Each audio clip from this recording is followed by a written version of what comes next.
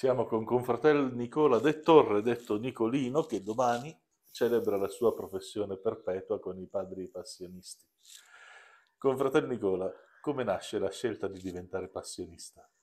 Beh, la scelta di diventare passionista nasce da una missione eh, fatta nel mio paese tanti anni fa, alla fine degli anni 70. Io rimasi affascinato da questa missione, volevo diventare passionista, allora si poteva entrare già dalle scuole medie. Purtroppo la mia famiglia eh, me, l'ha, me l'ha impedita, io non ho potuto eseguire la mia vocazione, poi la vita mi ha messo davanti tante scelte, tante cose diverse da quelle che volevo fare, fino a quando mi ha riportato nuovamente al cammino che volevo percorrere e che sono riuscito eh, a fare. Ecco. Nicola, quali sono state in questi anni di formazione le maggiori difficoltà e quali le consolazioni?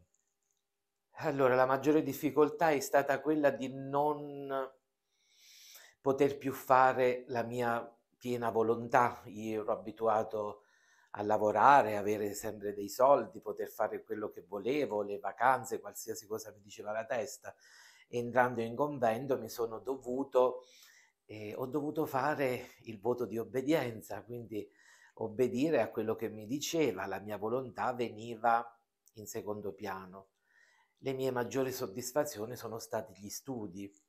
Io eh, ho la terza media perché ho fatto la scuola alberghiera, non è che eh, ho frequentato delle scuole tipo lo scientifico, il classico, e mi sono ritrovato sui banchi di un'università cattolica a frequentare dei corsi che non avrei mai nemmeno immaginato, filosofia, teologia, eppure il Signore mi ha aiutato tanto, veramente ha spianato davanti a me le strade, come dice San Giovanni Battista, e questa è stata la mia più grande soddisfazione. Domani ti impegnerai con la congregazione per tutta la vita. Come ci si prepara a questo giorno? Ma secondo me la preparazione non è degli ultimi giorni prepararsi alla professione, la preparazione nasce già da quando facciamo, almeno per me, la prima professione. Ecco, la prima professione già ti prepara tutto man mano ad arrivare, ad arrivare a questa, la professione perpetua. Io mi sono preparato in un modo solamente, seguendo un insegnamento del nostro San Gabriele, di cui io sono innamorato, che bisogna fare sempre la volontà di Dio e ciò che piace a Dio piace anche a me. Quali sono i sentimenti che si provano alla vigilia di un giorno così grande? I miei sono molto particolari, io non ho più nessuno a casa e in questi giorni penso solamente a loro. Mi piacerebbe tanto che mia mamma e mio padre fossero qua con me, purtroppo non ci sono fisicamente. Il mio pensiero è verso di loro e mi sarebbe piaciuto che loro avre...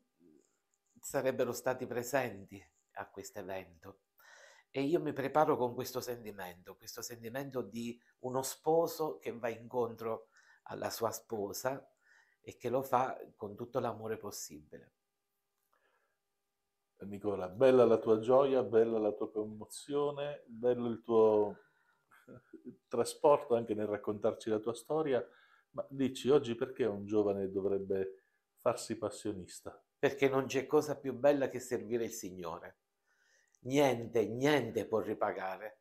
È come usando le parole di San Gabriele, non cambierei un giorno di quelli che ho fatto per tutta la vita che ho trascorso. Dobbiamo pensare solo a questo. Un giovane dovrebbe riscoprire la bellezza di servire Dio con la sua vita.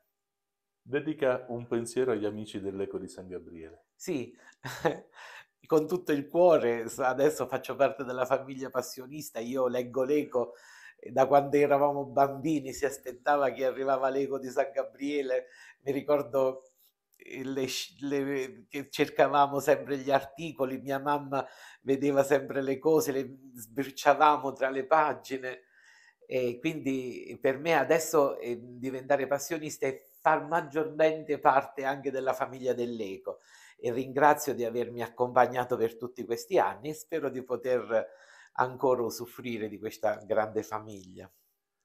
Con fratello Nicolino, tanti, tanti, tanti auguri. Buon cammino, buona professione, buon percorso di santità. anche dai nostri amici dell'Eco. Grazie, grazie a voi.